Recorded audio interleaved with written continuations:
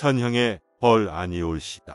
소록도 시인 허진수 섬섬 떡 반죽 앉은 고흥반도 고요한 바닷마을 오늘도 흐느낌 찾아든다. 예수 동상 아래 웅덩이 몰래 흘린 비 이슬 한센선 배 위에 뿌려놓은 빗방울 푸른 하늘 이름 새기고 푸른 바다 마음 적셔 단종대 위에 울던 청년의 애고 나는 나를 저주하다. 보리필이 불어주던 한하우님의 필릴리 필릴리 나는 나는 문둥이가 아니올시다.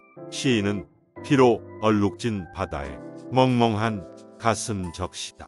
그 바닷물 손바닥에 보두모 차창가 새겨놓은 한마디.